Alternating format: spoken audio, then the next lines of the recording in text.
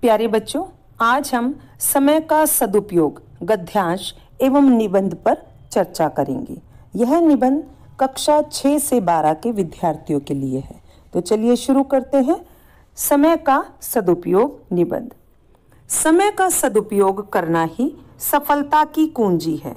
जो व्यक्ति समय को बर्बाद करता है, समय उसको बर्बाद करके छोड़ता है। समय को व्यर्थ गवाने वाले खुद अपने पैरों पर कुल्हाड़ी मारते हैं। कुछ लोग आज नहीं, कल से, कल नहीं, परसों से करते करते कुछ नहीं कर पाते और सफलता का कोई मौका नहीं पाते।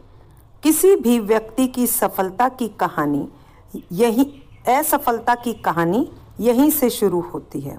जब वह आज के काम को कल पर टालना शुरू करता है। हमें उन आदतों पर लगाम लगानी चाहिए, जिनमें हमारा कीमती समय यूँ ही बेकार चला जाता है। समय का सदुपयोग तथा प्रबंधन करके हम न केवल अपनी इच्छाएँ पूरी कर सकते हैं, बल्कि अपने शौक, मनोरंजन आदि के लिए भी समय निकाल सकते हैं। समय की कीमत समझने वाले ही अपने अच्छे भविष्य का निर्माण कर सकते हैं। सही समय पर सही काम करने वाले ही सफल होते हैं। काम को सही समय पर करने से आत्मविश्वास में वृद्धि होती है। कार्य क्षमता भी बढ़ती है। आज का काम आज ही करो। कल पर मत टालो। समय हाथ से निकल जाने पर केवल पछतावा रह जाता है। कहते हैं, देर आए, दुरुस्त आए। जब जागो तब ही सवेरा। जो बीत गया, उसे भूल जाओ। कोई भी शुभ काम करने के लिए आज और अब से अच्छा समय नहीं, कभी नहीं। हमारे वर्तमान में किए गए कार्यों से ही हमारे कल या भविष्य का निर्माण होता है।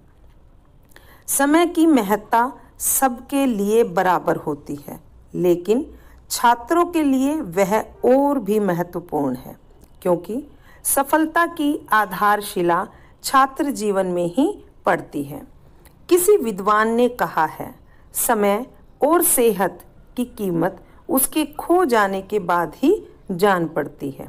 इसलिए सही और सही तरीके से काम करके ही हम सफल हो सकते हैं। कभी कभी हम समय और ऊर्जा उन छोटे छोटे कामों पर अधिक लगा देते हैं जिनकी आवश्यकता नहीं होती। इससे ज़रूरी काम या तो छूट जाते हैं या जल्दबाजी में किए जाते हैं और उनका परिणाम अच्छा नहीं होता। दुनिया की सारी दौलत खर्च करके भी बीते हुए समय को नहीं खरीदा, खरीद सकते। इसलिए समय का सदुपयोग करें। छात्र अपनी छुट्टियों की भी सही योजना बनाएँ। लंबी छुट्टियों में व्यक्तित्व विकास के कोर्स करें, जैसे कंप्यूटर, स्विमिंग, नृत्य, सीखना, अपेक्षाकृत कठिन प्रतीत होने वाले विषयों की तैयारी करना, दस्तकारी, विदेशी भाषा सीखना आदि। हर क्षण बेहद कीमती है, उसे बेकार ना करें।